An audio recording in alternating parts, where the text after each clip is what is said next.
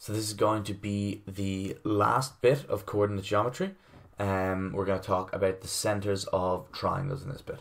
So you might think there might only be one center of a triangle, kind of like a circle or a square, but there are actually hundreds of them. There's a big book called the Encyclopedia of Triangle Centers. So we're not going to get into that, as interesting as it does sound.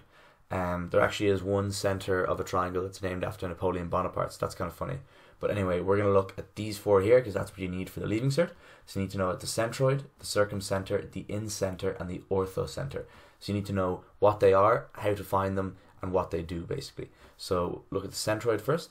So the centroid, if you have a triangle set up like this with x1, y1, x2, y2, and x3, y3, then you can find the centroid pretty easily by just sticking it into this big formula. So x1 plus x2 plus x3 all divided by 3, and y1 plus y2 plus y3 all divided by 3. Uh, if you don't have it in coordinate form, then the way to do it is you have to go, you have to draw a line from each corner to the midpoint of the opposite side. So this point here is going to be the midpoint between this and this.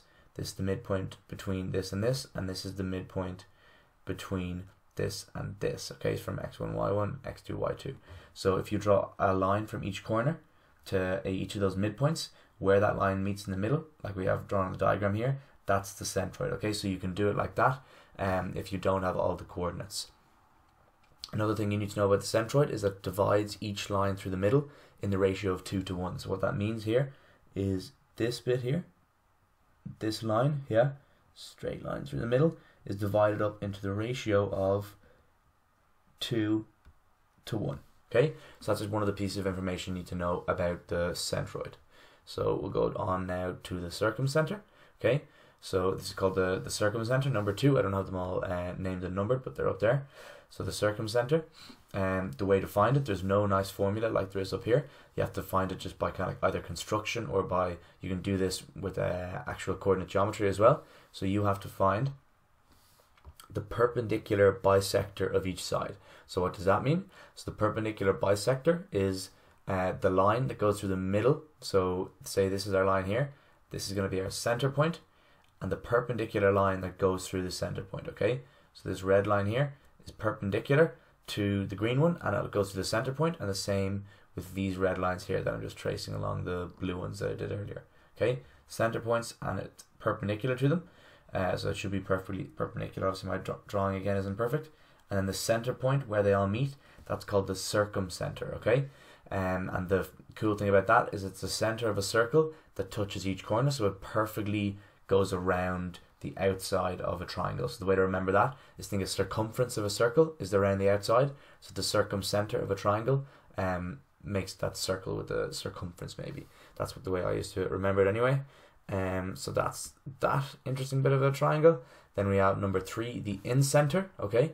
And the way you get the incenter is, I'll draw it out quickly.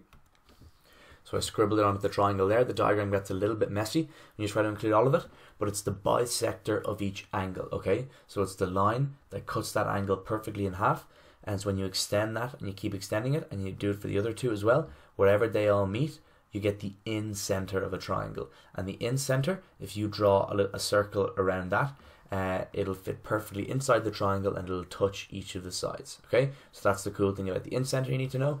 The last one then is the orthocenter, okay? So the orthocenter, what you have to do is, as it's written here, is draw a perpendicular line from each corner to the opposite side, okay? So say we, this is one side, we have to draw a perpendicular line from here to the opposite side. So let's say that's perpendicular line. Then from this one here, we have to draw a perpendicular line, which is going to be like that maybe. And then from here, we have to draw a perpendicular line, which will of course they'll all meet so that's perpendicular that's perpendicular and that is perpendicular so there is our orthocenter of the triangle okay so you need to know all of those things because they can all come up in the exam and they've started asking recently um, about these triangle centers for some reason. But anyway so uh, if they start asking about it you need to know it.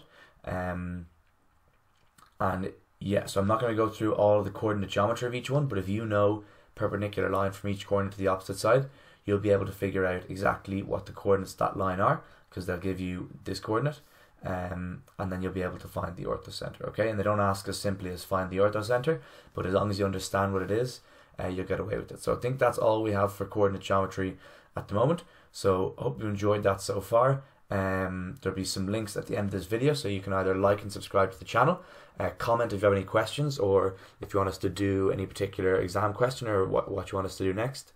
Uh, and if not, then click onto some of other playlists so you can look at things like calculus, complex numbers, um, and algebra and things like that. So again, hope you enjoyed it, and we'll see you next time uh, for ExamLearn's videos. Don't forget to like and subscribe.